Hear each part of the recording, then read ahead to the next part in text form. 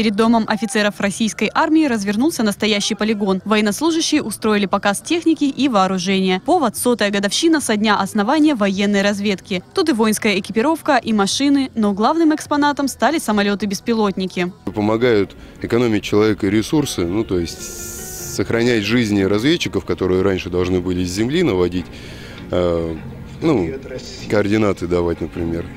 Теперь все это делает беспилотник, то есть намного проще, спокойнее. Основная часть программы – показательные выступления 70-й мотострелковой бригады. Парни устроили целое представление с дымовыми шашками и стрельбой из автоматов. Показали силу, выдержку и уверенность в себе. Зрелище оказалось впечатляющим.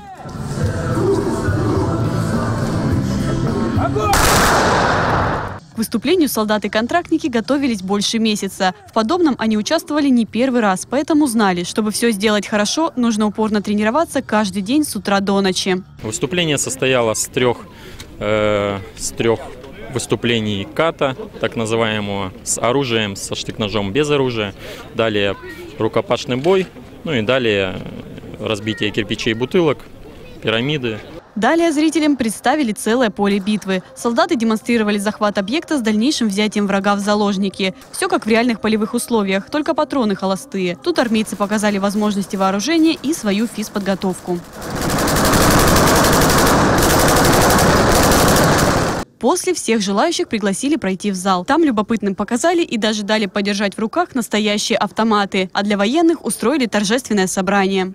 Елена Карпенко, Игорь Антонов, Телемикс.